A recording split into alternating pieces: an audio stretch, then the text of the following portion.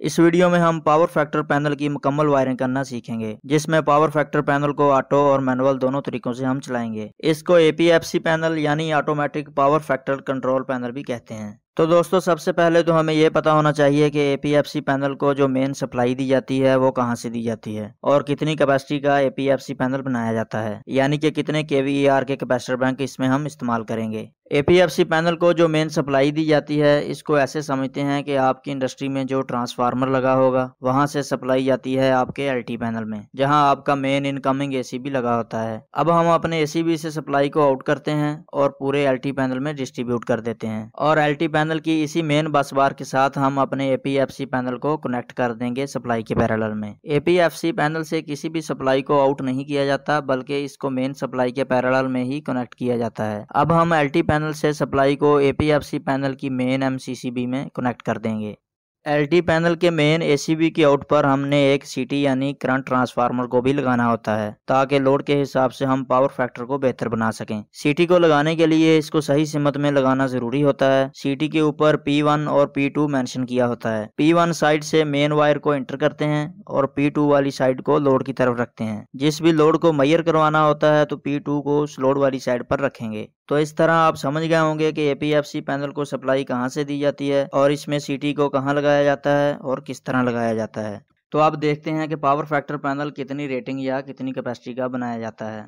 APFC panel को transformer के हिसाब से डिज़ाइन किया जाता है। मिसाल के तौर पर अगर आपकी इंडस्ट्री में एक हज़ार के का ट्रांसफार्मर लगा हुआ है तो एपीएफसी पैनल में जो कैपेसिटर बैंक लगाएँगे, वो ट्रांसफार्मर की रेटिंग के 25 फ़ीसद से 40 फ़ीसद के हिसाब से लगाएँगे। यानी अगर ट्रांसफार्मर हज़ार के का है तो इसका चालीस फ़ीसद चार सौ बनता है और पच्चीस फ़ीसद दो सौ पचास बनता है। तो इस तरह एक हज़ार के के ट्रांसफार्मर पर दो सौ से लेकर चार सौ के कैपेसिटर बैंक हम लगाएँगे। तो ये डिपेंड करता है आपके लोड पर कि अगर आपने ट्रांसफार्मर पर फुल लोड डाला हुआ है तो आपको 400 के का एपीएफसी पैनल बनाना होगा।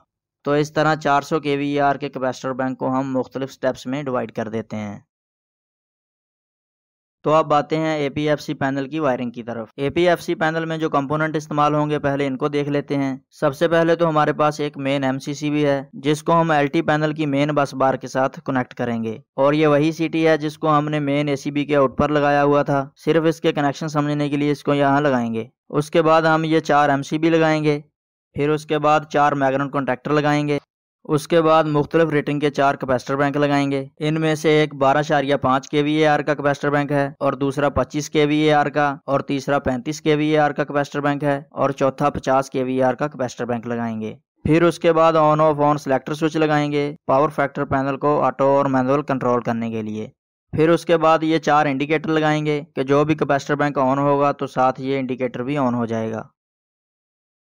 सबसे आखिर में हमारे पास जो मेन कंपोनेंट है, वो है एपीएफसी रिले यानी automatic power factor control relay इसके ज़रिए हम पावर फैक्टर को ऑटोमेटिक कंट्रोल करवाते हैं। ये मेरे पास A P F C relay है, जो कि मुख्तलिफ़ कंपनीज़ की होती हैं, लेकिन इन सब का वर्किंग प्रिंसिपल सेम होता है। ये पी एफ़ आर ट्वेल्व यानी कि ये रिले 12 कैपेसिटर बैंक को कंट्रोल कर सकती है। अगर हम इसकी डायग्राम से देखें तो ये हमारी मेन बस बार या मेन सप्लाई है, जिससे हम बी फ़ेज़ को एक नंबर टर्मिनल के साथ कनेक्ट करेंगे। और सी फ़ेज़ को तीन नंबर टर्मिनल के साथ कनेक्ट करेंगे। फिर उसके बाद ये ए फ़ेज़ पर एक सी को कनेक्ट करेंगे, जिसको रिले के पाँच और छह नंबर टर्मिनल पर कनेक्ट करेंगे। फिर उसके बाद जे वन से लेकर जे ट्वेल्व तक बारह रिलेज होती हैं, जिनको A P F C relay power factor के हिसाब से ऑन ऑफ़ करवाती है। और ये तेईस नंबर टर्मिनल इन सब रिले का कॉमन टर्मिनल होता है। इसको फ़ेज़ के साथ कनेक्ट करेंगे तो इन रिले से फ़ेज़ सप्लाई आउट होगी, और अगर न्यूट्रल के साथ कनेक्ट करेंगे तो न्यूट्रल आउट होगी।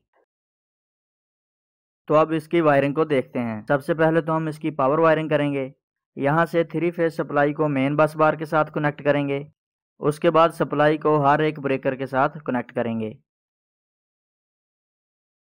ब्रेकर की आउट से सप्लाई को मैग्नेट कॉन्टैक्टर के साथ कनेक्ट करेंगे।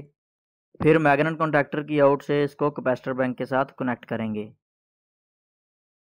तो ये हो गई इसकी पावर वायरिंग तो इसकी कंट्रोल वायरिंग करते हैं। कंट्रोल वायरिंग के लिए हम एक टू पोल का एमसीबी लगाएँगे, जिस पर हम येलो और ब्लू फ़ेज़ को कनेक्ट कर देंगे। फिर उसके बाद येलो फ़ेज़ को एक नंबर टर्मिनल पर कनेक्ट कर देंगे और ब्लू फ़ेज़ को तीन नंबर टर्मिनल पर कनेक्ट कर देंगे।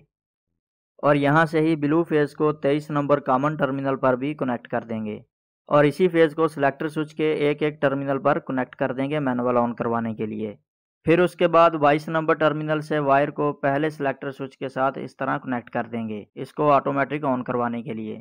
फिर इस तरह 21 नंबर टर्मिनल से दूसरे सिलेक्टर स्विच के साथ और 20 नंबर टर्मिनल से तीसरे सिलेक्टर स्विच के साथ और 19 नंबर टर्मिनल से चौथे सिलेक्टर स्विच के साथ कनेक्ट कर देंगे। अब उसके बाद सिलेक्टर स्विच की दूसरी साइड के दोनों टर्मिनल को आपस में लूप कर देंगे और यहाँ से फ़ेज़ वायर को पहले कॉन्टैक्टर की कोयल के साथ कनेक्ट कर देंगे। और यहाँ से ही फ़ेज़ वायर को इंडिकेटर के साथ भी कनेक्ट कर देंगे, ताकि जब कॉन्टैक्टर ऑन हो तो साथ ही इंडिकेटर भी ऑन हो जाए। और फिर इसी तरह दूसरे सिलेक्टर स्विच को कनेक्ट करेंगे। इसी तरह तीसरे सिलेक्टर स्विच को तीसरे कॉन्टैक्टर के साथ कनेक्ट करेंगे, और फिर इसी तरह चौथे सिलेक्टर स्विच को चौथे कॉन्टैक्टर के साथ भी कनेक्ट कर देंगे। और फिर उसके बाद कॉन्टैक्टर की कोयल को न्यूट्रल के साथ भी कनेक्ट करेंगे और इंडिकेटर को भी न्यूट्रल के साथ कनेक्ट कर देंगे। फिर उसके बाद सीटी के के वन या एस वन टर्मिनल को रिले के पाँच नंबर टर्मिनल पर कनेक्ट कर देंगे। और फिर सीटी के के टू या एस टू टर्मिनल को रिले के छः नंबर टर्मिनल पर कनेक्ट कर देंगे। तो इसी तरह हम टोटल 12 मैग्नेट कॉन्टैक्टर को इस रिले के ज़रिए ऑटोमेटिक ऑन ऑफ़ करवा सकते हैं। और अगर पावर फैक्टर को मैनुअल चलाना हो तो सिलेक्टर स्विच के ज़रिए इसको मैनुअल भी हम ऑन ऑफ़ करवा सकते हैं। तो दोस्तों, ये थी पावर फैक्टर पैनल की मुकम्मल वायरिंग और इसका मुकम्मल कंसेप्ट तो उम्मीद है कि आपको समझ आ गई होगी। और अगर इस वीडियो से रिलेटेड कोई डाउट है तो आप कमेंट में पूछ सकते हैं। तो उम्मीद करता हूँ कि ये वीडियो आपके लिए काफ़ी हेल्पफुल रही होगी। वीडियो अच्छी लगी हो तो लाइक कर दें और मजीद इस तरह की वीडियोज़ देखने के लिए चैनल को सब्सक्राइब भी कर दें।